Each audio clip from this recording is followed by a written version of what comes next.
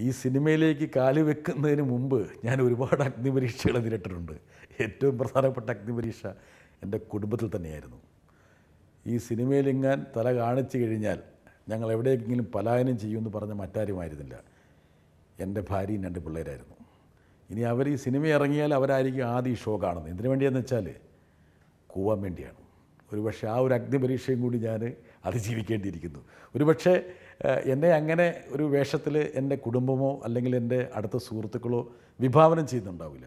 ജോൺ ബ്രിട്ടാസ് ഒരു മാധ്യമ പ്രവർത്തകർ ഒരു ടഫ് മീഡിയ പേഴ്സണായിട്ട് നിൽക്കട്ടെ അതുകൊണ്ടായിരിക്കാം. പിന്നെ ഇതിനൊരു ചലഞ്ച് ഒരു പക്ഷേ അവരുടെ പ്രതീക്ഷ കൊണ്ട് എനിക്കുണ്ടായ ചലഞ്ച്. ഞാൻ എന്നെ അങ്ങ് അൺമേക്ക് ചെയ്തു. ഇതിന്റെ സംവിധായം പറഞ്ഞൊരു കാര്യമുണ്ട്. ജോൺ ബ്രിട്ടാസ് ജോൺ ബ്രിട്ടാസ് ആയിട്ട് അതേ രൂപത്തിലും ഭാവത്തിലും ഈ സിനിമയിൽ വരികയാണ്. പിന്നെ ഒരു കോൺട്രിബ്യൂഷനും ഇല്ല. താങ്കൾക്കൊരു ചലഞ്ചും ഇല്ല.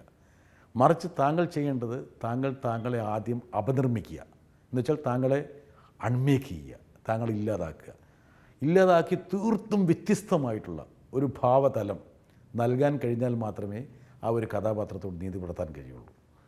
അതുകൊണ്ട് തന്നെ എനിക്ക് സിനിമയെ കിട്ടിയിരിക്കുന്ന റോളെന്ന് പറഞ്ഞാൽ എന്റെ ജീവിതമായിട്ട് യാതൊരു ബന്ധമില്ലാത്ത റോളാണ് വളരെ ആർദ്ര ആർദ്രതയുള്ള ഒരു എന്താ പറയുക ഒരു പ്രണയ ദാതാവിന്റെ ഒരു ലക്ഷണം. അതുപോലെ പ്രണയിക്കുന്ന ഒരാൾ വല്ലാത്ത തീഷ്ണമായ വലിയൊരു ദിവ്യപ്രേമെന്ന് പറയാവുന്നത്. രണ്ട് ഞാൻ സാധാരണ ഇതിലൊന്നും പോകാത്ത ഡാൻസ് ബാറുകളിലേക്കുള്ള പ്രയാണങ്ങൾ അങ്ങനെ ഒരുപക്ഷെ എന്റെ നിത്യജീവിതവുമായിട്ട് യാതൊരു ബന്ധവുമില്ലാത്ത ഒരുപാട് ചേരുവകളാണ് എന്റെ അഭിനയ മുഹൂർത്തങ്ങളായിട്ട് ഈ സിനിമയിൽ വരുന്നത്. എന്നെ അൺമേക്ക് ചെയ്തതാണ്. അത് ഞാൻ അതിലേക്ക് രൂപാന്തരം പ്രാപിച്ചതല്ല.